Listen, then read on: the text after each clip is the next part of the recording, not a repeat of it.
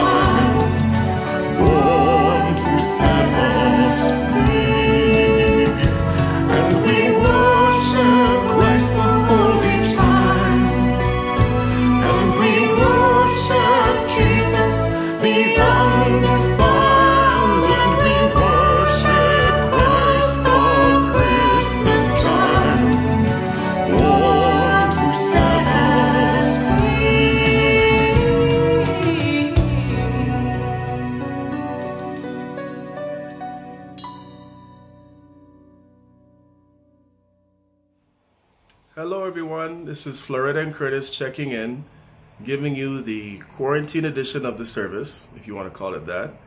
Uh, we're at a time now where we have to stay distance from everybody, but this is what technology does for you. Still keep in touch in this uh, type of uh, way. So it's good what we're doing. Uh, Mom just celebrated a birthday the other day, well, she's a couple of months ago. Um, she's now 83 years of age. Say thank you, Mom. You see? Um, so bless her heart, she's still going. So I'm doing what I can to um, keep her safe. And uh, I'm also thankful for what I have. I still have my job. A lot of people are losing their jobs as well too. So uh, keep keep you know keep the faith. Um, so just checking in, saying hi. Hope you're all okay, and we'll see you soon. Bye. Bye. And now let's pray for our community. Let's bow our heads in prayer. Father, again, we come to you as a community. We give you thanks once again for the work that you are doing in our lives as a group, as a church, as a people, as Canadians, as Torontonians, as uh, your children all over the world. Lord, I pray that you would enable us to see your glory, even in our needs, whatever they may be, and that we may be able to declare great hope that you reign in all our circumstances. Father, I ask for healing for our battered world right now. I ask, Lord, that you will intervene and release us, O God, into a better circumstance than we have right now. I pray for those who are working in our various hospitals, our doctors, our nurses. I pray for leaders in our communities, Lord, that you would grant them wisdom and knowledge to take the right decisions regarding how to move forward and get through this pandemic. Encourage our hearts, O Lord, in, through this Advent season and cause us, O Lord, to praise your name no matter circumstance. All this we ask in Jesus' name. Amen. Today's reading is taken from the book of Mark, chapter 1, verses 1 to 8. Mark, chapter 1, verses 1 to 8. The beginning of the gospel of Jesus Christ, the Son of God, as it is written in the prophets. Look, I am sending my messenger before your face, who will prepare your way before you. The voice of one crying in the wilderness, Prepare the way of the Lord, make his path straight. John came baptizing in the wilderness and preaching baptism of repentance for the remission of sins. The whole region of Judea and all the people of Jerusalem went out to him and were all baptized by him in the Jordan River, confessing their sins. John was clothed with camel's hair and with a leather belt around his waist, and he ate locust and wild honey. He preached, saying, After me is coming one mightier than I, the straps of whose shoes I am not worthy to stoop down and untie. I indeed have baptized you with water, but he will baptize you with the Holy Spirit. This is the word of the Lord.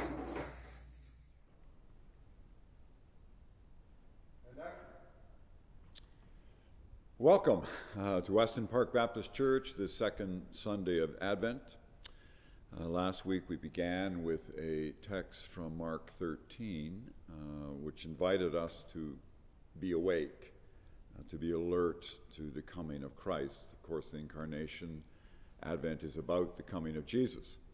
So we want to be awake and alert to that. That's where we began. Today we look at a second text, which is also from the lectionary uh, for the second week of Advent, and it has to do with preparing the way for the Lord. And so, again, we are to keep awake and we are to be sensitive to the Lord's coming and what that might mean for us. As you know, as you read the Gospels, uh, the Gospel of Mark does not include any Nativity chronicles. It jumps right into the adult ministry of Jesus. And it begins with the uh, story of John the Baptist. So here we are, Mark chapter 1, preparing the way, and we hear uh, the words of Mark in this point. So the evangelist writes for us the beginning of the good news of Jesus Christ, the Son of God, as it is written in the prophet Isaiah See, I am sending my messenger ahead of you, who will prepare your way. The voice of one crying out in the wilderness, Prepare the way of the Lord, make his paths straight. And so that's how the Gospel of Mark begins.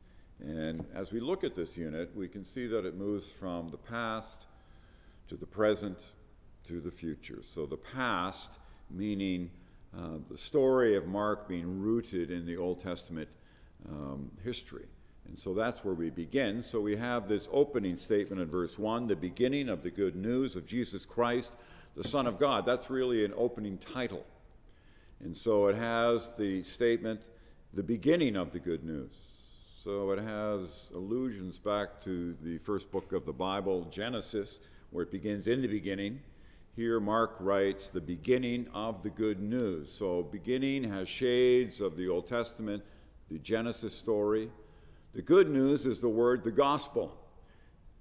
Mark is presenting the good news, the gospel, and it refers to Jesus. And indeed, we have three titles there. We have Jesus, which means Savior or God saves. Christ is Messiah, the anointed one. And then a reference to the Son of God, or a favorite title that is used by Mark is the Son of Man. So Jesus, Christ, Son of God. This is how uh, Mark begins. That's his title for the entire book. So, not a story of the infancy of Christ, but launches right into the good news of the gospel, which Mark sees as very good news.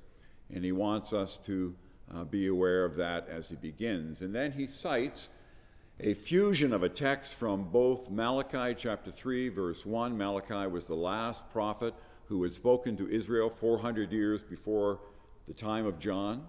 So he picks up, Mark, a text from Malachi, and then also a statement from Isaiah. And indeed, it is Isaiah that's credited. As it is written in the prophet Isaiah, verse 2 See, I am sending my messenger ahead of you who will prepare your way. That's Malachi. The voice of one crying out in the wilderness, Prepare the way of the Lord, make his paths straight. That's Isaiah 40. And so Mark begins the good news, and then he goes back and looks at the Old Testament story. He announces this text before the Christ comes. And this was a, a, a pattern both in the Old Testament story and in the days of, of uh, Jesus, the days of the Roman Empire, where before a king would come, there would be an announcement. So someone would go ahead of the king, announce the way, so that people are prepared that the king is coming or the emperor is coming, so be it. And so Mark is using that idea as he begins, launches back into the Old Testament. Someone comes and announces that the king is coming, and then he's going to go on and then ultimately talk about Jesus. So it is a message of promise and fulfillment. It's a message of expectation, announced centuries earlier that this one will come. And Mark wants us to be aware that God has not forgotten his purposes, that he indeed remembers what his story is about, and that he will indeed achieve his purposes. That's what Mark is saying. And so that reminds us of what we looked at last week that we are to be ready, that we are to be awake. We saw last week in Mark 13 that Jesus uses a parable of the landlord going away and giving responsibilities to his stewards and saying, Be ready, do your task, so that when I come back, things will be ready, things will be right. The challenge is, is that they are not to fall asleep, but to indeed do their task, be responsible, be ready, so that they can uh, receive the landlord coming back and that all is well. So the same idea is here. So it begins with a call to recognize that God's story will take place, and we have to be ready to do it. In the verses that follow, Mark 1:15, when Jesus begins, this statement is used. Jesus says, "The time is fulfilled and the kingdom of God has come near. Repent and believe in the good news. The time is fulfilled." The word time there is kairos. The, ti- the kairos time is fulfilled. We've been waiting in the past, and the centuries go by, but now the kairos moment has come. The time is fulfilled, and the kingdom of God has come near. So that is where Mark's going. So it's a call for us, indeed, to wait in expectation and to be patient. And of course, that's a, that's a big challenge for us in our day. We are not a patient people. We like things to happen quickly, we want things to go in our timing. The biblical story is a story that we need to be patient about. So, one writer says this in a go getting instant culture, we do well to cultivate the Christian quality of patience over against the constant pressure for success, results, and fulfillment. Patience. Patience comes from the word for suffering. There's an element of suffering in patience. We are called to suffer with whatever reality is as we wait for the good news to happen. We get so caught up in success and results and fulfillment that we, we're not very good at it. And so the writer is saying, encouraging us, will we wait in expectation? So it goes back to the past. That's where Mark begins. And then he launches into the story of his present, which is the story of John the Baptist. So the second point, Christ's work in the present, in his moment. So the writer says, John the Baptizer appeared in the wilderness, proclaiming a baptism of repentance for the forgiveness of sins. And people from the whole Judean countryside and all the people of Jerusalem were going out to him and were baptized by him in the river Jordan, confessing their sins. So now it comes to Mark's day, What is he saying now? So John appears in the desert and he comes preaching. Interesting, the Judean desert eh, was and is a very wild place. It cascades down to the Dead Sea, and you have all the salt formations. It really is a very wild place. And the desert is always seen in the Bible as a place of, of meeting God, it's a place of expectation and waiting. And so, John, where does he appear? He appears in the wilderness, in the Judean wilderness, the same wilderness that Jesus is going to be driven by the Spirit into for 40 days. It's going to happen shortly. And so, it's in the desert, in the wilderness, that John appears. Last week, we talked about the need for us to create our own desert, our own place where we meet with God. It's, it's important that we're able to do that. Again, not to be so caught up that there is not a moment of, of waiting and of silence and of spending time with God. So John appears in the wilderness, in the desert, and he comes with a message of repentance. Repentance is simply a call to turn around, to change your mind, to alter your life. Repent, to turn. And so John is calling the people to turn. In the midst of your busyness, take time to turn and look to God and hear what He's saying, to hear His voice. That's where John goes. And as a sign of that, as a sign of saying yes, John baptizes the people in the River Jordan, even as Jesus will be baptized by John. And so, baptism then and now is a, is a moment of crisis. It's a moment of choice. It's a moment where we say yes to God, where we say we have turned and are looking to Him. And so the people come, and interesting, we're told that thousands come, a multitude come. For whatever reason, the people are really hearing John's word of come, hear something new from God. John was, was actually recognized as as the first prophet in 400 years. So the people are very excited that a prophet has been raised up in their midst. And they go out, they leave the city of Jerusalem and go out into the wilderness to hear John and to indeed be baptized in the river Jordan. And so it's an action of repentance, an action of turning. Of course, in the gospel stories, a great example is the person of Zacchaeus, who's hiding in the tree, and waiting for Jesus to come by. And Jesus looks up and says, Zacchaeus, I want to come to your house for lunch. And Zacchaeus, this very short man, comes down and takes him off to his house, and he's very excited. And, and in the midst of that, he repents. And he's a tax collector, and he says, If I've cheated anybody out of what you know I owe them, I will give it back to them, and I will give them more in terms of making it right. He wants to make things right. It's a bold statement in the Gospels of someone repenting, a crisis moment. And so it's a time of preparation, a time for us in Advent to look to the Lord, both in the past, both in the present, Mark is saying. It's interesting when we use an Advent candle, the colors for Advent often are a rose color. And, and in that rose color, it's a, or a violet color, it's a, it's a uh, picture or a symbol of repentance, of turning. That's the idea. Prepare our hearts for what God is doing. So Mark begins by rooting his story in the Old Testament. He then tells the story of John that he comes baptizing and preaching a word of repentance and turning to God. And then we see, indeed, that there is a future element to it, and this is where we end. Mark picks up again. Now, John was clothed with camel's hair, with a leather belt around his waist, and he ate locusts and wild honey. And he proclaimed, The one who is more powerful than I is coming after me.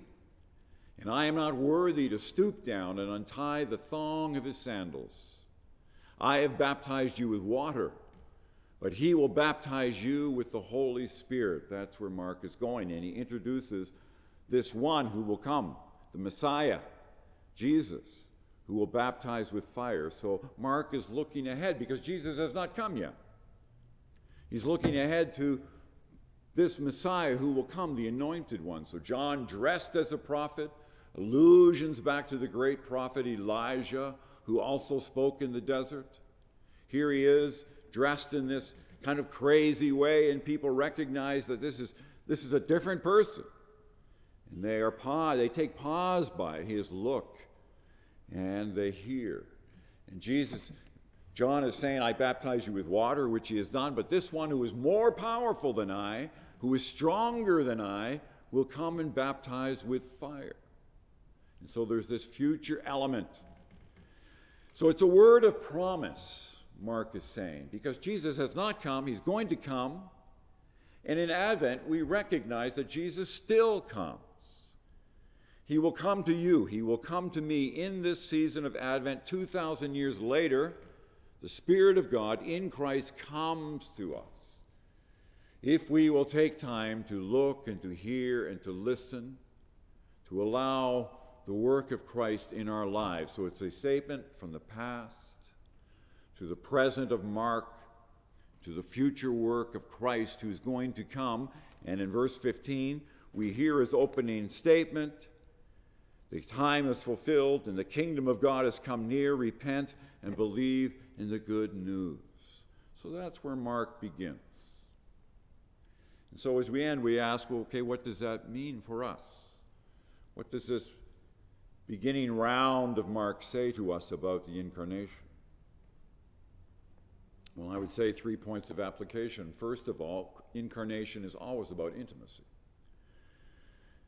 The incarnation is God taking on flesh in Christ, and that is a movement towards us in closeness. God wants to be close with us. We've talked about God being our Abba, that Jesus always goes to God as Abba, and we are encouraged to use the same language in our relationship with Him. And so, in the midst of your crazy schedule, in the midst of all that's going on in your life, the incarnation is about hey, God wants to be near you, close to you. That is the very purpose of the incarnation. That's why in the church cycle, four weeks, five weeks, every year, we give attention to this listening. God comes to us in closeness. That's what He wants. He's not a distant God, He comes. And so, in the midst of our craziness, will you take the time? Will I take the time to step away from distraction and, and create a little bit of, just a little bit of desert in your life? Five, six minutes a day where you actually quiet your heart and your mind so that you are listening to this God who comes close to us through His Spirit in what is at the root of incarnation. God taking on flesh in Jesus Christ. For the very first time in the human story, God takes on flesh in Christ. He wants to be close. And secondly, of course, it's a message of purpose. It's a message that, that God wants to do something through us, that we also are forerunners of Christ. John the Baptist was a forerunner. Prepare the way of the Lord. But there's an aspect where we, we are all called to prepare the way of the Lord, to be a forerunner, to be a witness of Christ both in word and in deed. As you embrace love and communicate love to others, that's what our lives are about. So it's not about just success or will people know me or remember me or whatever else. It's, it's living in love, being a witness in word and deed. And I believe that that, that that can go a long way in our lives to encourage us to recognize that we, in our own way, have a story to tell. And we weave our own threads into the great tapestry that God is weaving in Jesus Christ and we as his people, the church, called out ones. So, second application is the message of purpose. But thirdly, and I would say most importantly as we finish, it's a message of good news. It is a message of gospel. Mark talks about this is the gospel. Jesus comes, verse 15, announces the gospel. So that, that gospel word it was a fresh new word in it, and it meant good news. So the incarnation is about good news, it is about gospel, it is about Christ's word to you right now. 2020, pandemic, COVID 19. Still, God speaks a word of good news to you and to me, a word of gospel. That's where we are encouraged to hear. Hear those words. Good news, gospel. And so I love, I love the message of Paul in 1 Thessalonians 5 16, 17. And, he, and he, he's drawing back, he's ending this epistle to the Thessalonians, this church in Thessalonica. And it's like he's saying, I want you to remember three things. This is how you're to live your life. You read those verses. One, be happy. As Christians, follower of Christ, be happy. His language is rejoice always. Simply, it means be happy. Can you be happy? That's what Jesus is saying. That's what Paul's saying. Be happy. Secondly, be in conversation with me continually. That is, stay open handed in your heart and your mind towards me. Pray continually. Be in conversation with me. Be mindful that I am the Creator and I am in creation and I have come to you. Be in conversation. Be happy. Be in conversation with me. And then finally, he says, Be thankful. Indeed, be thankful in all circumstances. Even in a new lockdown here in Toronto, you know, even CNN is talking about, hey, the biggest city of Canada is in lockdown. It's a big story. Even in the midst of lockdown, we can be thankful for all kinds of stuff in your life. To be thankful in all circumstances, Paul says. And so the message of incarnation, the message of Mark here for us is really that. You're invited to be happy. You're invited to pray, be in conversation with God, and indeed to be thankful. To hear that God comes to us in Christ. And I offer you these words this second Sunday of Advent. In Jesus' name, amen.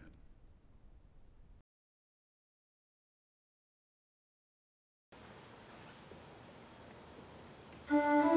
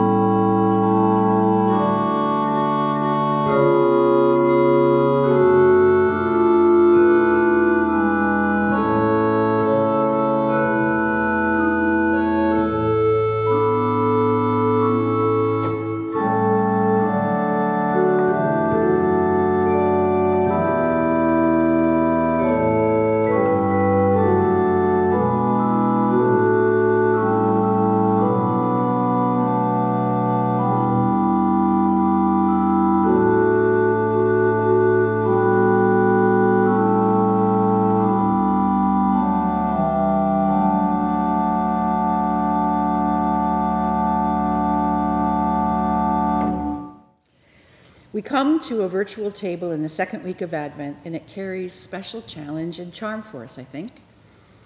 We've been gathering virtually at the Lord's table together since the middle of March. It's not and will never be normal, but we are as faithful as we can be to the practices that remind us of who we are. Last week, Tom and I were reminiscing about a Sunday in the summer of 2019 when we sat together after he told me he had stage four cancer.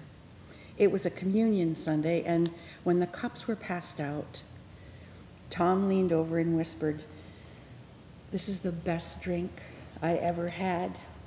In the poignancy of that moment, still digesting the news of his cancer, we laughed quietly like guilty kids.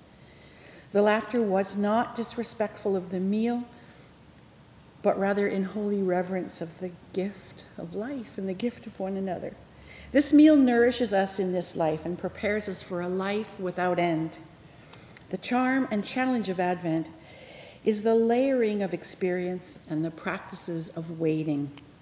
Children don't like to wait for presents and celebrations, and I suspect neither do we. But the responsibility of preparing for those events and those activities gives us composure and something to do, and it gives us the upper hand. But this Advent is different. We need the stories of Advent to ground us because the virtual table and the empty manger are front and center in our experience. Emptied of the rush of Christmas, we are met with the silence of starlight and candles at the end of the day. And we also need the story of the Last Supper. As we gather around the virtual meal, it reminds us of a priceless forgiveness and second chances that we've been given by a loving Father and His Son.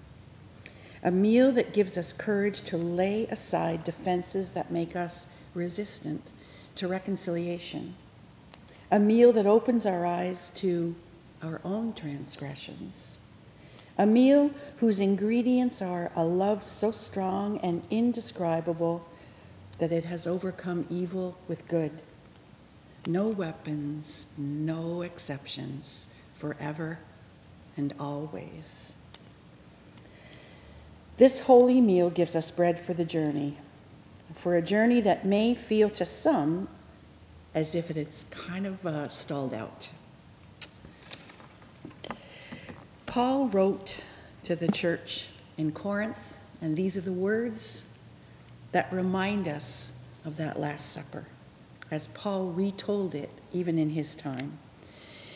For I received from the Lord what I also passed on to you. The Lord Jesus, on the night he was betrayed, took bread.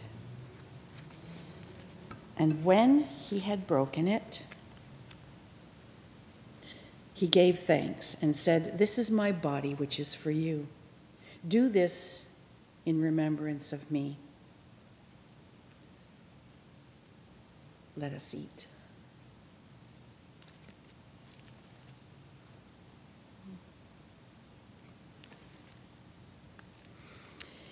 In the same way, after supper, he took the cup, saying, This cup is the new covenant in my blood. Do this whenever you drink it in remembrance of me. For whenever you eat this bread and drink this cup, you proclaim the Lord's death until he comes. Let us drink.